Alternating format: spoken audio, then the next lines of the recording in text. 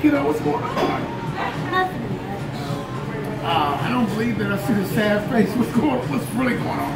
So I get accepted to Howard, right? Remember how you and mom and everybody else went there except Ab-? Absolutely. Howard, Howard Pride. Absolutely.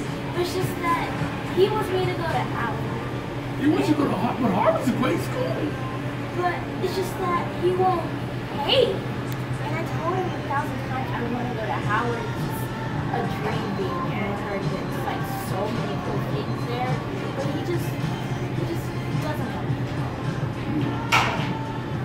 Well, your dad's a phenomenal guy, and uh, hard to convince. Growing up, he got into a lot of fights. I'm sure he probably told you, but um, he wants the best for you. But I believe the best for you is to live your dreams. And Howard is your dream. Then I think you should live your dream and pursue one of Howard. Uh, I'll tell you what. What is the one thing that you love about Howard University? It's just that it's a family thing, and I just want to go there and see how really cool it is, and if they're, if it's actually really cool to be there, and I don't really know if I should. I mean, I just want to go there, and it seems fun. They say it's fun.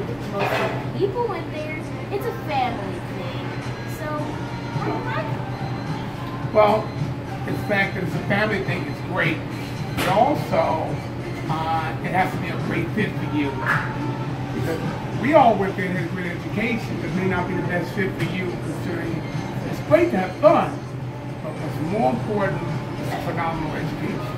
And I think that's really, really, really important. So, but your dad again, he's a, he's a tough guy to do that. Leave it up to me. I'll, since you're my favorite niece, I'll talk to him. Uh, give me a couple weeks to work on him, But in the meantime, keep believing, keep dreaming, keep smiling.